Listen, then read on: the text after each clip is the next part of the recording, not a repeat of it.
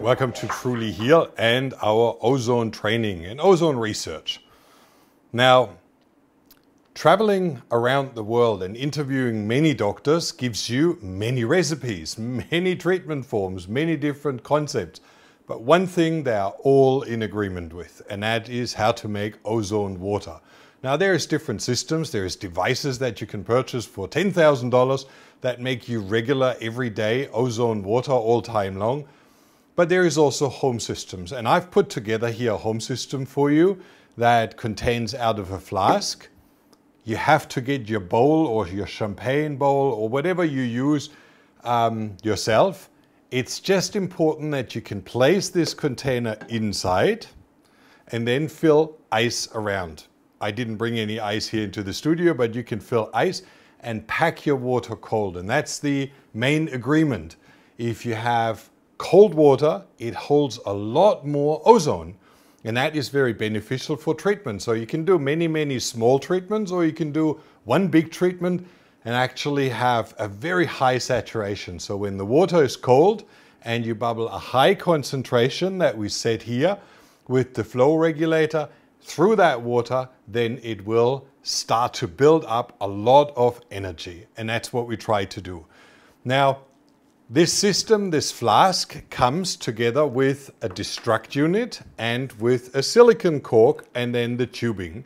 Now let me show you how to set this all up. The two long ones you hold aside or you put aside and the two short ones that come out at the bottom of the cork, you put them into the bottle. And that's the bubble stone. And this is a special hose that we will explain in a moment. So you put both of them in and seal it tight. And you can actually really seal it without any problem because it's supposed to be there for a very long time. You can always fill in new ice you can always fill through this hose the container, but it is in itself a closed system. All right. Now let's connect one of these pipes here, the one with the connector. Now in your set, in your super bundle, you will have a stop valve. This stop valve lets the air go this way, but it doesn't let any water or liquid go back into the generator, which would break it.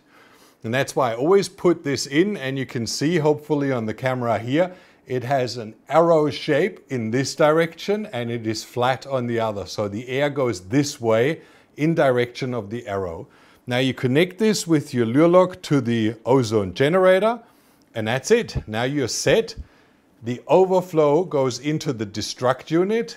It's MnO3 in here. So on the other side, the only thing that comes out is oxygen. It is broken back down into oxygen. Now this little funnel I'll explain in a moment when we fill up the container. And I didn't bring a glass, so I'll just drain it into the big container. This is where you normally hold your glass underneath and get ozone water out without that waft of ozone, without opening the flask. Just leave it as it is and fill your cup with water. Now let's turn it on. How do we set that up?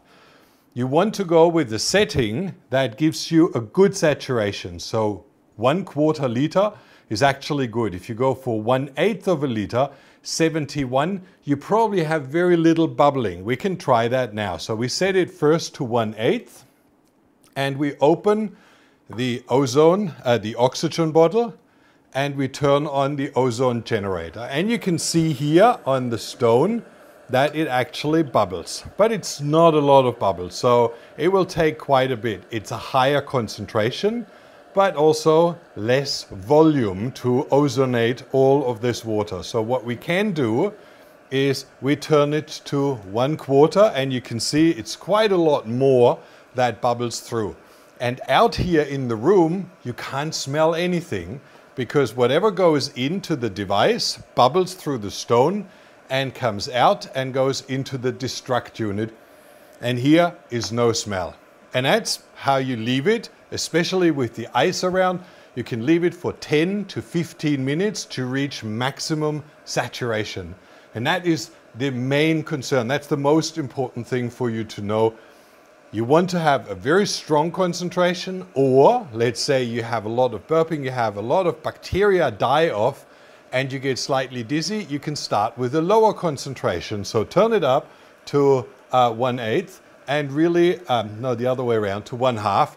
Let double the air through. It's weaker concentration, but faster uh, upregulated. So it contains the ozonides. And that's something you can drink to get started, to get your whole body trained to it. And then you can turn to one quarter.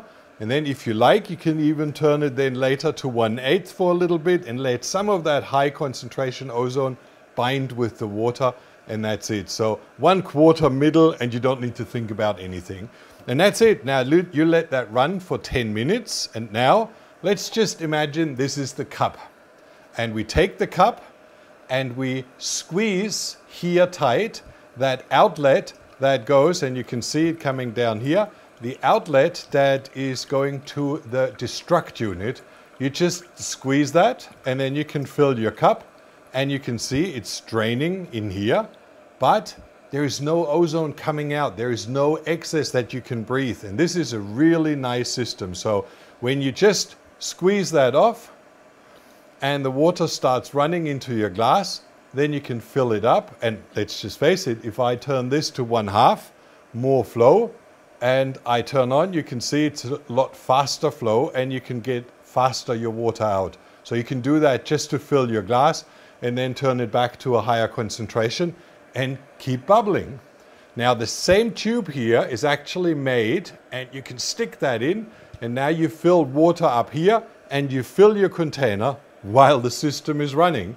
So this is a really beautiful setup actually created by um, Dr. Bill Dumb. He's a dentist from Florida and he was really nice to show that at one of the trade shows and he's built us a few so that you have the joy. They normally go all into dentist practices because they have them bubbling all day, and every patient gets that to um, flush out their mouth, to disinfect all the bacteria, to flush out teeth. They use that all day long. They use it to clean their water pipes.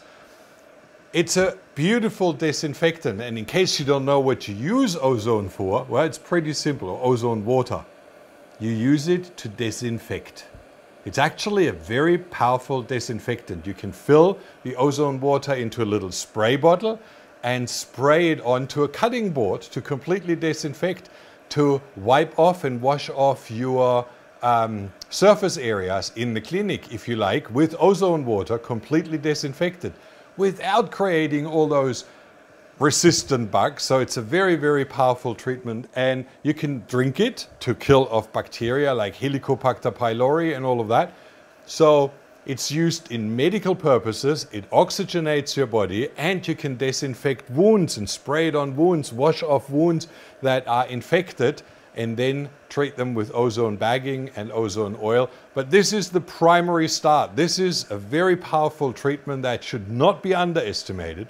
Like I said, Russian research shows that when you bubble water in cold condition for about 10 minutes, 15 minutes in a concentration of one quarter, and you drink it for about a week to two, and that's the study, then Helicobacter pylori is dead. And that's one of those pathogenic bacteria, and we probably have a lot more. So it's a beautiful treatment to start with, to train your body to absorb everything, and it's easy to do and absolutely safe with this very easy kit.